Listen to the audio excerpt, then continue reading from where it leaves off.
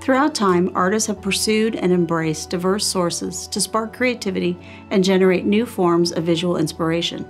Cartier and Islamic art in search of modernity explores such sources of inspiration. Paris, at the dawn of the 20th century, was a catalyst for creativity, especially for Louis and the Maison he steered towards modernity. The study of Islamic art was emerging as an academic discipline as the city became an important center of trade in Islamic art forms.